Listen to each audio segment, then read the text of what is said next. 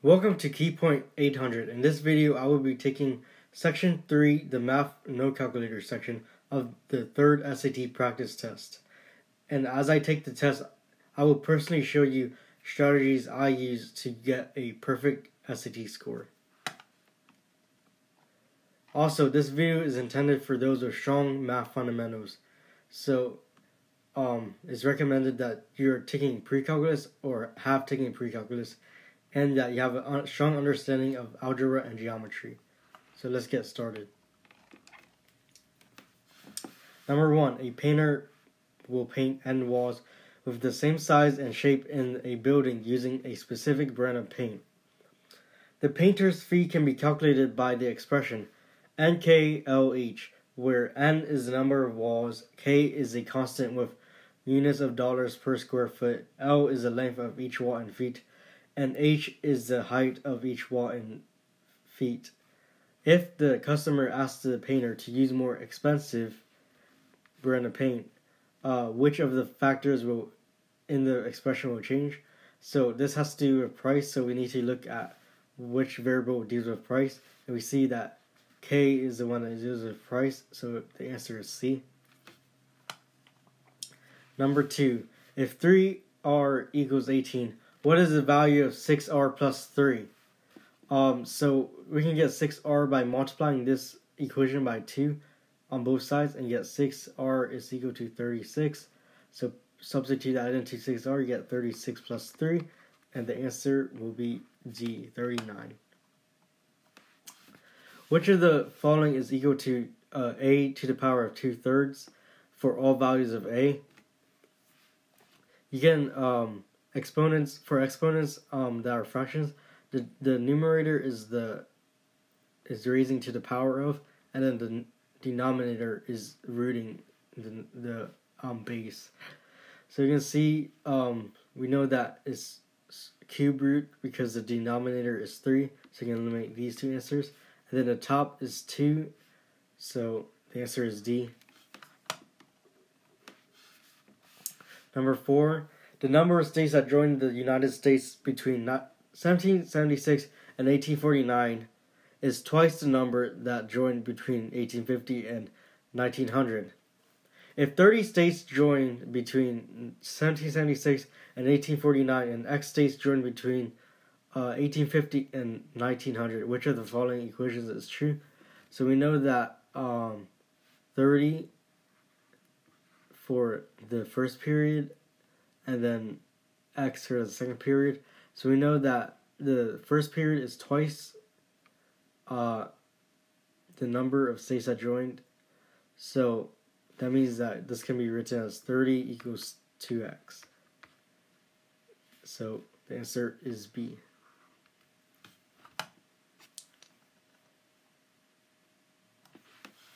Number 5. If 5 over x is equal to 15 over x plus 20, what is the value of x over 5? Well, let's just solve this equation and see what happens. So if we cross cross multiply, we can get, so like that, get 15x is equals to 5x plus 100, 10x equals 100, x is equal to 10, and x over 5, so divided by 5, get 2. Okay, number six. Uh, we have if x, y is a solution to the system of equations above, what is the value of x minus y? So let's solve this uh, system. Uh, we can do that by multiplying the top by 2, negative 2, and then the bottom by 3 get negative 4x plus 6y is equal to 28 and then bottom 9x minus 6y is equal to negative 18 add those two together you get 5x is equal to 10 x is equal to 2 so let's now let's solve for y. Plug in y into I'll choose the second equation. So uh, 6 minus 2y is equal to negative 6. uh, negative 2y is equal to negative 12, y equals 6. So when you do 2 minus 6, that's negative 4. The answer is C. Number 7. The function f is defined by a polynomial. Some values of x and f of x are shown in the table above. Which of the following must be a factor of f of x? So we know that um, in a graph, the factors are usually the zeros. So like this and this. So we need to look at where the y is zero. So we can see that f of x is zero here. So that must mean that one of the factors is x minus 4.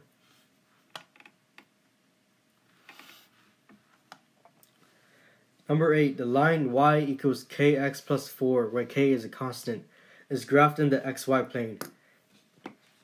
If the line contains the point CD, where C is not 0 and D is not 0, what is the slope of the line in terms of C and D?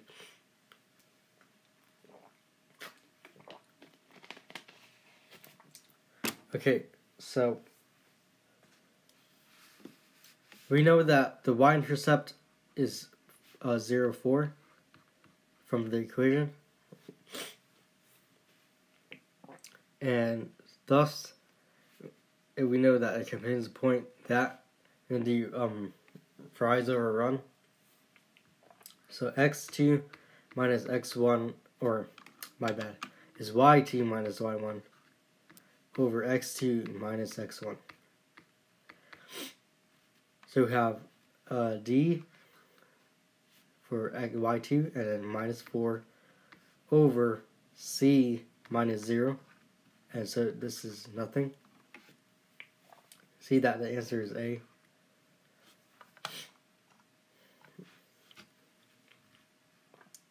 Number 9 is the system of the equations above k is a constant and x and y are variables. For what value of k will the system of equations have no solution So what we want is for both of the variables to eliminate and leave a um, unsatisfactory answer. So let's see, we can use um, these two. Um, we want these uh, two equations to be the same line. So, uh, or have the same slope but different y-intercepts like that. That means no solutions. So we can see that um, we can uh, we can find this uh, slope by solving for y.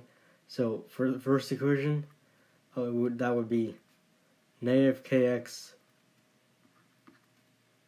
plus 4 over negative 3 and that we multiply by negative that's equal to um, or cancel out the negatives that would be equal to kx over 3 minus 4 over 3. And do the same process for the second equation, y is equal to um, negative 4x plus 7 over negative 5 and simplify that to 4 over 5x is uh, minus 7 over 5. So now we have we want these slopes to be the same so that they they're um they can be parallel. So set the two slopes, this one and this one equal to each other. Uh, k x over 3. The x's cancel out. 1 by 3 over k is equal to 12 over 5. Answer is A. Number 10. Um, in the xy plane, the parabola with equation y equals x minus 11 squared intersects the equation y equals 25 at two points A and B. What is the length of AB? Alright, so the easier way to do this is to keep it at that um, square square both sides plus minus 5. Don't forget about when you square it's plus minus. So x is equal to 5 minus 11 and x is equal to uh, negative 5 minus 11. So x is equal to um, negative 6, and also negative 16. Since the distance between these two is 10, the answer is A.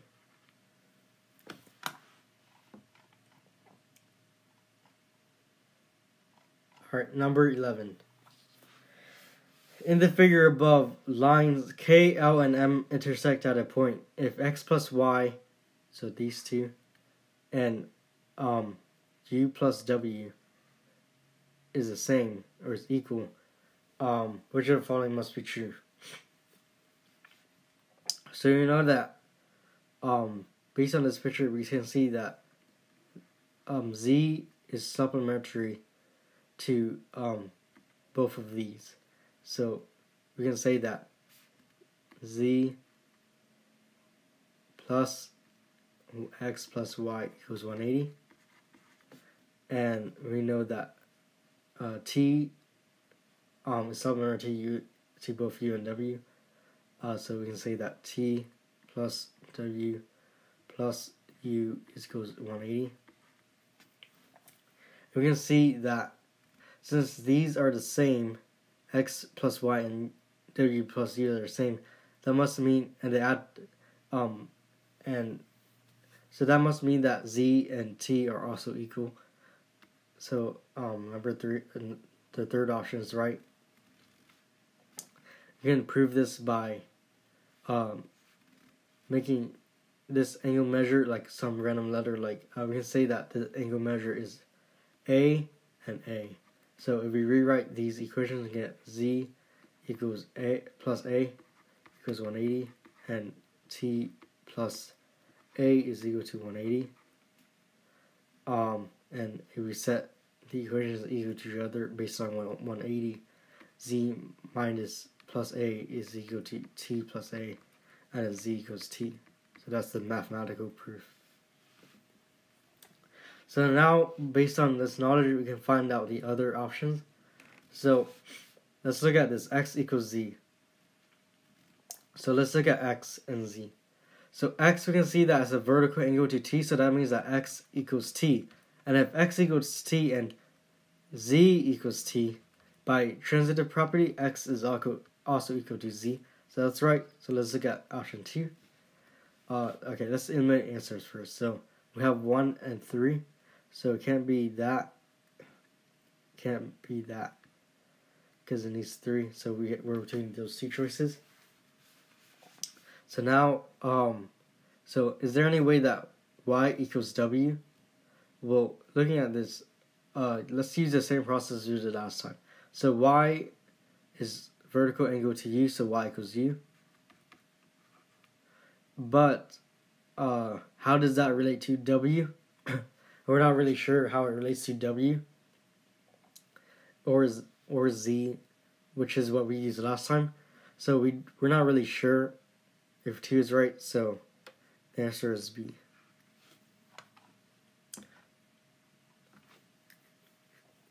Number 12. y equals a x plus 2 x plus 4. In the quadratic equation above, a is a non-zero constant. The graph in the xy plane is the parabola CD. Which of the following is equal to d?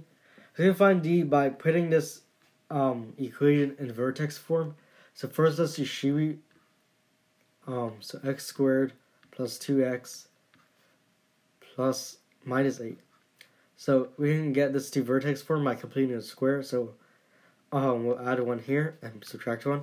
So you get a x plus 2 or x plus 1 squared minus 9. Um, so when you shoot, this is the y of the vertex. And when you shoot uh, this a, get negative 9a. So the answer is A.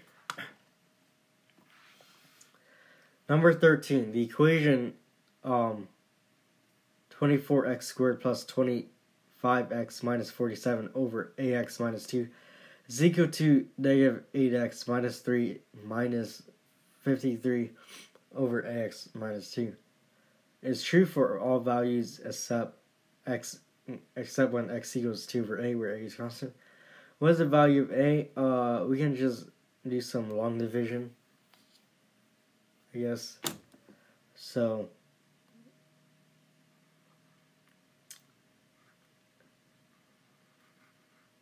So let's do some long division, I guess. Alright, so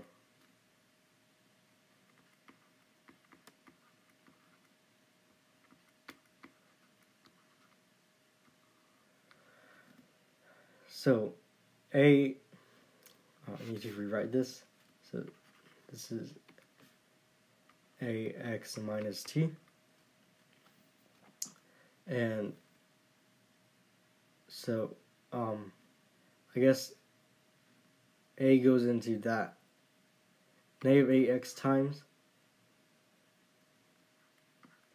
Alright so based on that this is um this is what it says so negative x. So what a um let's see so it's basically um so what gave this negative 8 up here? So this is 24 and this is negative 8 24 divided by negative 8 is equal to negative 3 the answer is B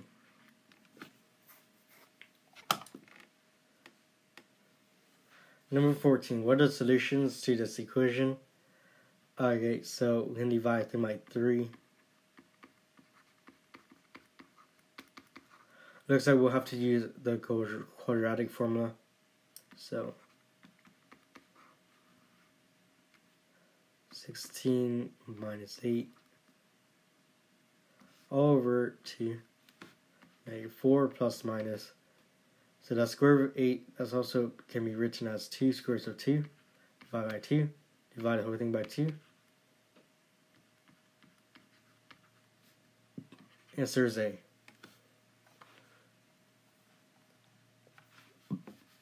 Our number 15, uh, we're giving this equation, which the following must be true.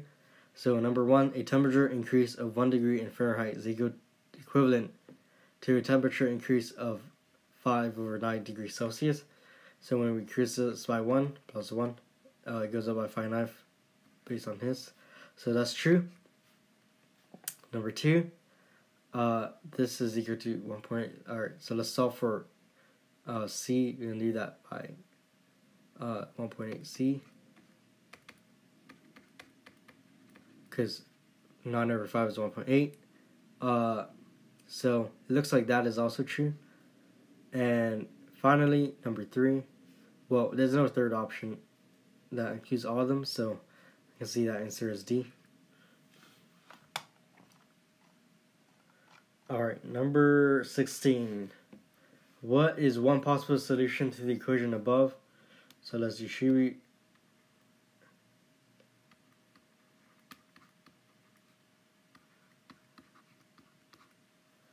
uh, so then uh, just move the minus negative 4x over. Let's divide by um, x so that we can get a equation we can actually solve. So this is a regular factoring problem. So minus 4 and oh, when I move this over it's actually positive, so make sure you don't make those kind of mistakes. Okay, and then um, let's use an easy one. Okay, we can use this one. Uh, this is just one, so bubble in one, or we can have also two here based on that equation, because it's there's many possible values. Sometimes use negative because x is over one. So Oregon, yeah. So the other option is two. All right. So now number seventeen. Uh, what's the value of x? So let's just add these together. So we're gonna combine like terms here. That's that's um three over nine, or that's one over three. X is equal to times this by three. So this is equivalent to three over twelve. Add that together, eight over twelve which is equivalent to um, uh, 2 over 3. So now we can multiply by 3, x equals 2. That's their answer. number 18, uh, two isosceles triangle. If 180 minus z equals that, and y is equals to 2y, and y equals 75, what is the value of x? So y is equals to 75. So let's just solve for y. So 180 minus z equals 150, or solve for z, I mean, and z equals 30 degrees, since we know there's 30 degrees now. And we can get that angle here by simply uh, 180 minus 30 divided by 2. And so this angle is would be uh, 75. So 130. So this is a this angle is a sum of this angle plus this angle, and so 75 um plus 30 equals 105. That's your answer. You can also do 180 minus 75 since it's supplementary. This angle is the same, so you can also get do that and get 105. Number 19. At a lunch stand, each hamburger has 50 more calories than each order of fries. If two hamburgers and three orders of fries have a total of 70, 1700 calories, how many calories do you, does a hamburger have? So, so um, hamburger is equal to F plus 50 fry 50 more calories. And if two hamburgers and two hamburgers and three fries is equal to 700, we use um, elimination, or actually in this case we're going to use uh, substitution. So substitute this f plus 50 in, you get 2f plus 100 plus 3f is equal to 700. Uh, subtract stuff over. Divide by, by 5. Uh, use long division.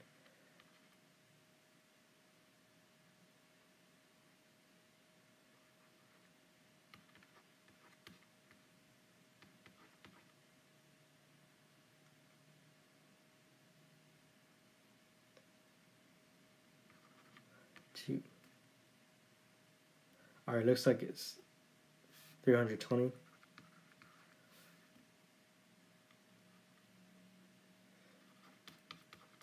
Yeah, 320 and then so we have 320 but hamburgers 50 more so it's 370 finally um, in triangle ABC A C this is 90 degrees B is 90 degrees and BC is equal to 16 AC is equal to 20 and now we have triangle DEF, DEF, and they correspond. So, and there's somewhere corresponding. Each triangle DEF is one third the length. Uh, what is sine F? Um, so this is this is pretty um tricky, but it's actually not tricky. So, so sine F here. So angles on similar triangles are the same, so it doesn't matter that DEF is smaller than ABC. So let's just ignore DEF. So let's find the sine of C, which corresponds to F. So sine of C. So um, first we could, should solve for um, AB. We can do that by um, actually no, this is a 3, 4, 5 triangle. If you divide this by 5, uh, I mean 4, this is equal to 5. This is equal to, or this is almost the same as 5. Is proportional to 4, divided by 4. And that means um that this one equal to not um so 3 yeah 12 so 3 times 4 is 12. So you can see that, so the sine of C, C is 12 over 20. And that simplifies down to divided by 4 on both numerator and denominator is 3 over 5. And that is all for the first SAT, um, I mean the third SAT practice test for the no calculator section.